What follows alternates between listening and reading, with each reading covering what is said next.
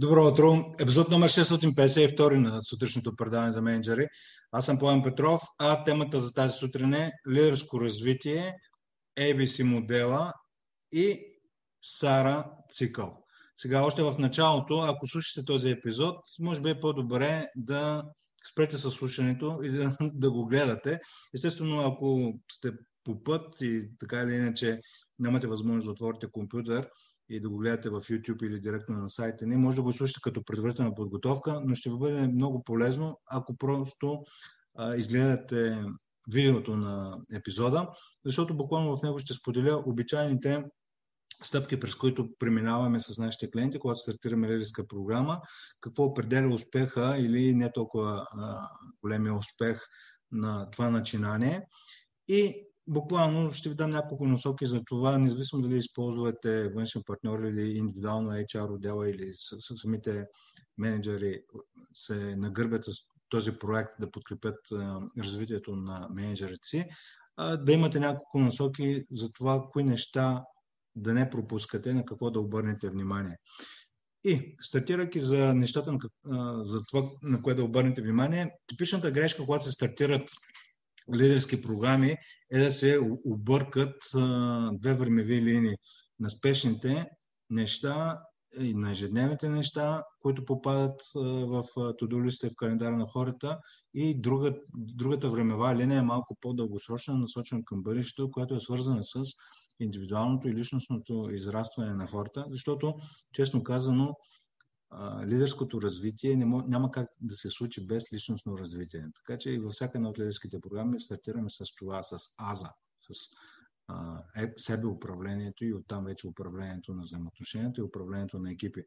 И тогава, когато няма стабилен спонсор. И по стабилен спонсор имам предвид лично ангажиран менеджер в лидерската програма, който активно дава, получава обратна връзка, участва в реализирането на програмата, тогава нещата с течение на времето може да се щупят поради една проста причина. Менеджерите обръщат внимание върху нещата, за които им държат сметка. И обикновено това са резултатите, които постигат, а не то колко добре са се справили в лидерската си програма. Въпреки, че тук другия парадокс е, ако те добре се справят и вземат с пълни черпи, черпят а, в лидерската си програма, резултатите им ще бъдат по-добре. Но ако се фокусират върху резултатите а не върху дългосрочната а, и малко по-дълбоката и малко по-бавната работа върху себе си, а, резултатите им ще страдат. И така ще се получи, както в историята, при която една жена отишла при мъжа си и му казала не знаех какво да правя с живота си и затова направих баница. И това се случва и с менеджерите. Тогава, когато не знаят откъде да тръгнат по отношение на това какво да развият, дали да е делегиране, управление на времето, управление на енергията, себе управление, каквото и да е, когато не знаят какво, върху какво да се фокусират и да почнат да работят, а в рамките на този епизод ще ви покажа по какъв начин може да ги подкрепите да получат много ясна индикация за нещата, върху които да работят и когато не знаят върху какво се фокусират, се фокусират върху това, в което имат най-голям опит, върху правенето на баници, или метафорични баници, т.е. отмятането на задачи, които на оперативно ниво а, са им най-познати. И така нон-стоп, до пенсия. Отмятане на задачи и гасене на пожари. Но, обратно към темата, ABC модела, след малко ще ви запознам, всъщност аз вече започнах, може би, до някъде да говоря за него, но а, това, което забелязвам, че в компаниите, в които целенасочено всяка година се инвестира постоянно, а, не е достатъчно просто да се инвестира в развитието на хората. Трябва да има а, непрекъснат диалог, всъщност кой е истинския източник за тяхното развитие. И тук искам да ви запозная с този принцип 70-20-10, който е добре а, така да се подравни разбирането на менеджерите и особено на на, на най-високо ниво в организацията, че истинското учене не се случва нито в тренинг залата, нито в индивидуалните сесии. Истинското учене, всъщност тези това формално учене, в което се посещават семинари или се прави лидерска програма, задават едва 10% Тоест, това са моменти на катализиране, на изясняване на посоката, но това са от модела 70-20-10, това са тези 10% са само формално учене. Остана, т.е. тук ще го нарисувам на екрана, ето тези 10%, които виждате, са реално моментите. Те са изключително наситени понякога а, емоционално, а, понякога на хората им се завива свят, когато влезем в тренинг залата, колко много неща имат а, така, да подобряват. Но това са 10%. Останалите 20%, ето е тук, са процентите, които са израстването, което хората получават в взаимоотношенията с формални и неформални ментори, които може да имат в, в или извън компанията. това, са, това е нетворкинга, който има вътре в или извън компанията и така нататък. И последните 70%, всъщност най-голямото учене се получава ето от е това ключово нещо тук, което подчертавам в момента на екрана, в реалната работа. Лично за мен в моята кариера най- най- най-големите ми учители, като тегля чертата, всъщност са ми били клиентите. Тоест тези, особено в началото на кариерата ми преди 20 няколко години, когато почнах да работя и да продавам спедиторски услуги на клиенти, които са били търговци от 20 години, аз от един-два месеца, всъщност начин по който те гледат на, на работата, по който си систематизират, организират и приоритизират нещата, е било нещо, което остава най-силен отпечатък. Тоест, истинското образование може да бъде навсякъде и най-вече в работата, особено ако човек е настроен да го търси там. И сега тук имаме ABC модела. Първа, втора и трета стъпка. ABC на английски. Трите фази, те всъщност са три фази с 6 стъпки, кои, които сега ще ви а, разтълкувам. Първата е най-важната, това е фазата A, където са трите стъпки Aware, Accept, Act.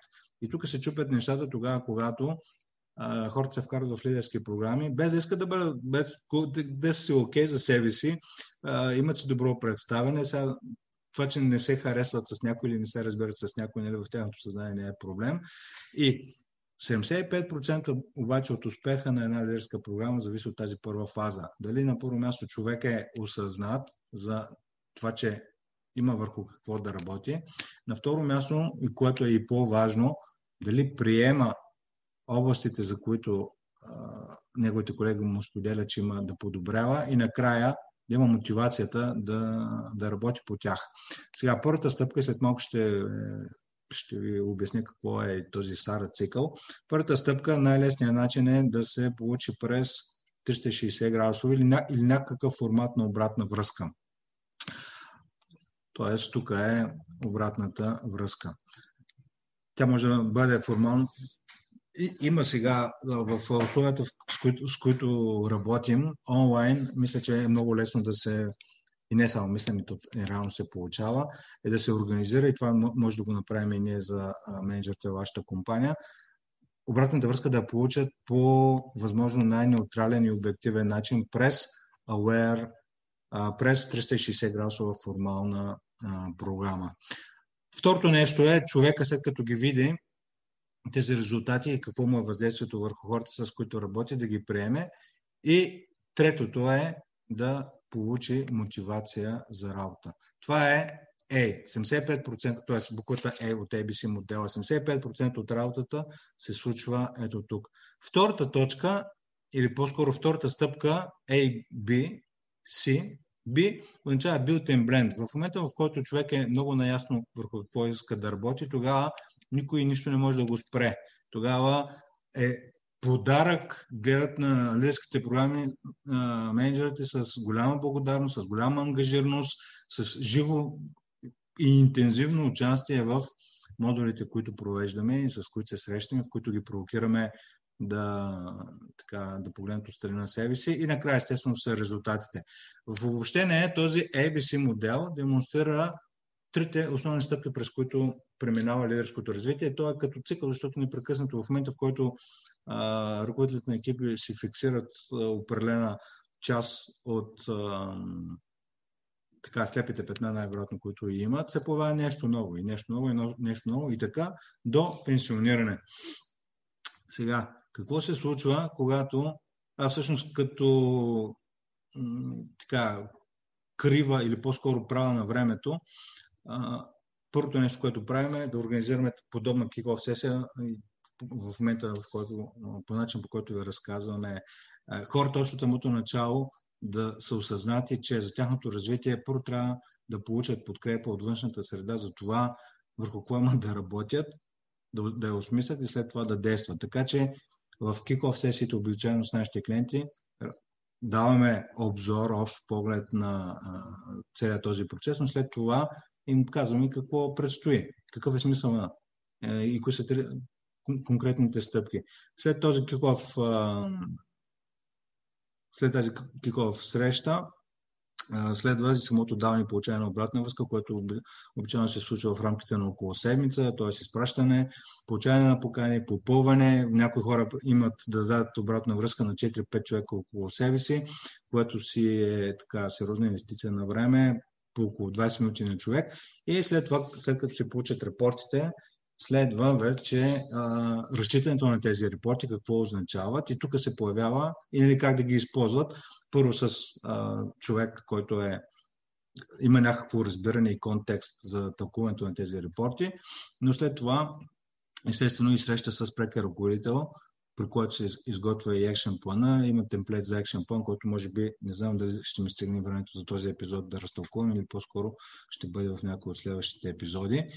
Но това са трите фази, които нагледяваме. Нали, не 12 месеца напред, фокус върху това, което непосредствено предстои в първите няколко седмици на лидерската програма. И след като хората си получат репортите, какво се получава? САР, така наречения САРА цикъл. САРА е абревиатурата от трите думи Surprise, Anger, Resistance, Acceptance. Сега, когато хората получават обратна връзка за собственото си представяне, по различните компетенции, виждате тук има а, един примерен репорт, да речем за човека Джон, а, който по отношение на екипната работа, teamwork и cooperation, себе оценката му е на 5, на скалата от 1 до 5. Той обаче получава оценка от прекия си ръководител, че е на 3.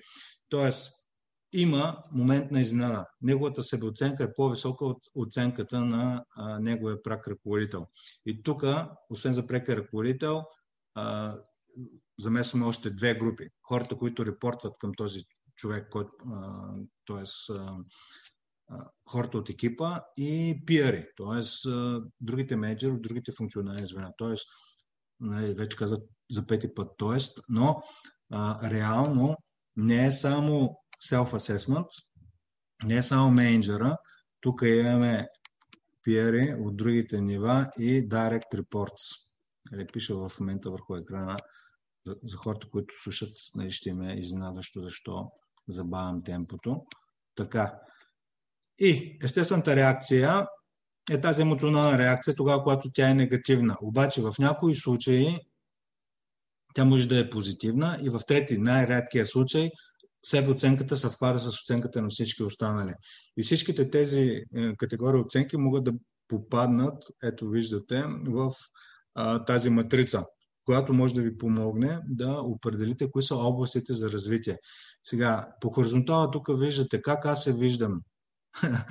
виждате как аз се виждам. Тоест, дали а, на ниската скала или на високата скала по определена компетентност. Нека да използвам компетентността за екипна работа. Нали, доколко съм а, на първо място екипен играч, доколко успявам да създам а, среда, в която хората работят добре като екип. И на второ място по вертикал е как аз се виждам.